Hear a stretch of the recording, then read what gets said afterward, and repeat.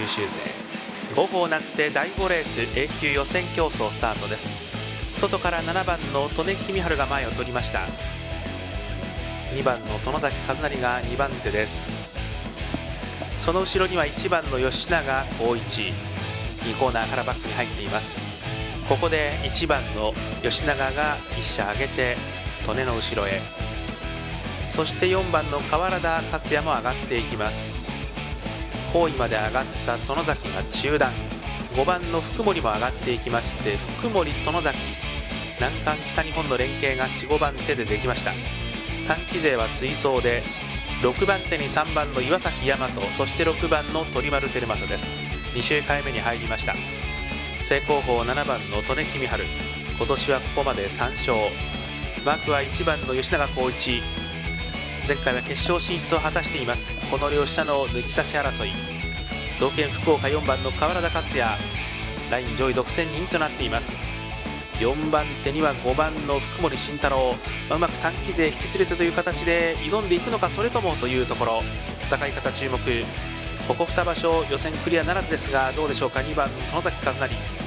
さあこの福森と殿崎が位置を上げて残り2周回前段に並びかけました。誘導待避そのまま抑えますと岩崎鳥丸もこうに続いていきます。ジャンマイ2コーナーに差し掛かり4対3の構造がまずは出来上がって福森主導権打賞を迎えました。人気の九州勢は5番手です。さあ福森はパワーそして数的優位を生かしながらですがもうジャンの2センターからペースを上げていきます。福森です。マーク殿崎3番手3番岩崎4番手6番鳥丸残り1周回を切っています。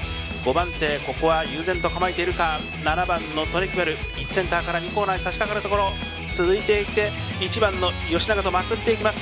最終バック4番の河原が跳ねて打ち収めていきますがまくり切って先頭7番の利根1番の吉永しっかりキープ。さあ直線コース。3番手はどちらになるか。2番の殿崎があった。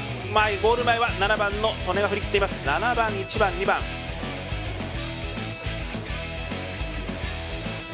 第5レースが終了しました。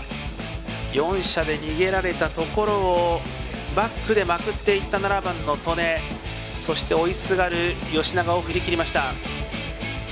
離れた3番手には2番の殿崎が浮上しまして上位通過7番1番2番。一応の入選順です。決定もう少々お待ちください。以上第5レースでした。はい第5レースご覧いただきましたいやすごいスピードがね。ねすごかったです。スピードが違うだな。本当にコメントでも全くスピードが違うとかって来てますもんねやっぱり。裏まさかい確かに。確かにそうですね。ね